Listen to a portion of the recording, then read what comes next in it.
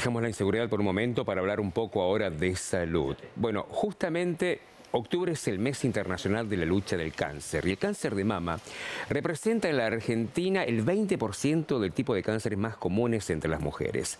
Anualmente se, detectan en nuestro país 19.000 nuevos casos y 6.000 mujeres mueren por año como consecuencia de esta enfermedad.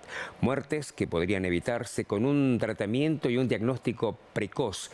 Y la mamografía es el estudio indicado. Durante todo este mes de octubre, en todos los efectores públicos de la provincia, mujeres de entre 50 y 70 años pueden solicitar el estudio completamente gratuito y sin turno. En el Semafé de nuestra ciudad fue una jornada especial de concientización. En el mes de concientización del cáncer de mama se realizó una charla sobre cómo transitar esta enfermedad que detectada a tiempo y con tratamiento revierte un diagnóstico que en la mayoría de los casos asusta y paraliza.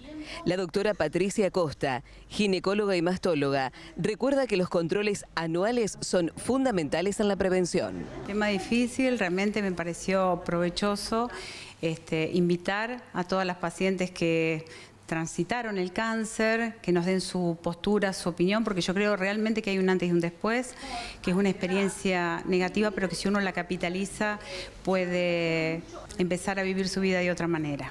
¿Vos notás que eh, según tus pacientes se detectan más cánceres que hace algún tiempo atrás? Lo que pasa que primero que tenemos más conciencia, eh, nos acercamos más a los controles. Eh, y eso hace que se detecten más. Es como que le estamos perdiendo el miedo al diagnóstico y nos acercamos a los centros donde se hacen estudios para, poder hacernos ese control. Eh, igual, una de cada ocho que lleguemos a los 80 años estamos dentro de las posibilidades de tenerlo, así que es una enfermedad frecuente en nosotras. ¿Cuál es la edad más temprana que se puede detectar? Mira, nosotros actualmente hemos tenido pacientes de 25 y 26 años con cáncer de mama, así que prácticamente ahora no podemos hablar de edad, si bien el grupo etario de mayor frecuencia sería a partir de los 50, 60 años. Patricia, eh, ¿cuáles serían las recomendaciones que le tendrías que hacer a las mujeres?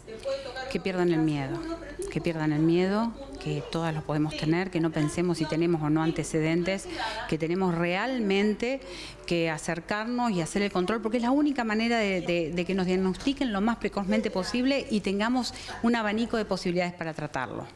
Em, el control se hace una vez al año, ¿no? Una vez al año en algunos casos, si tenés, si te hay alguna otras cosas, por ahí puede ser cada seis meses, pero lo ideal es hacerlo una vez al año.